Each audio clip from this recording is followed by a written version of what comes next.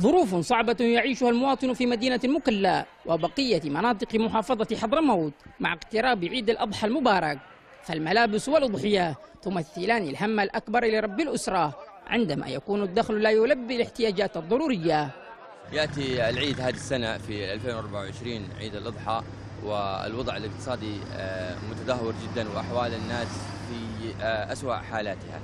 آه، طبعا مع ارتفاع الميزة الأساسية في العيد هي لحوم العيد ويصل رأس العيد آه، الغنم إلى ألف سعودي فيما أدنى مستويات الرواتب لدى المتعاقدين مثلا 50 ألف الموظفين ما يتجاوز 90 ألف. فالناس تعيش أزمة خانقة وضيق معيشة بشكل لا يتصور. دون استثناء الغلاء في كل شيء ويعود هذا في المقام الأول. إلى التدهور الواضح للعملة المحلية أمام العملات الأجنبية وانهيار اقتصاد البلاد وسببه غياب الرؤية الاقتصادية التي تنقذ المواطن من جحيم الأسعار. لوين وصل بنا الحال.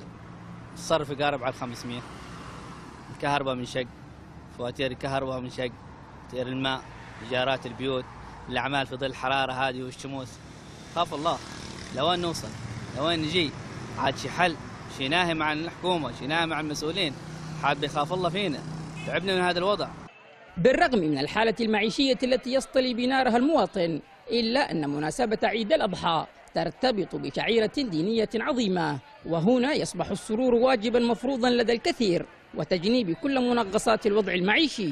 معتز النقب يمن شباب المكلا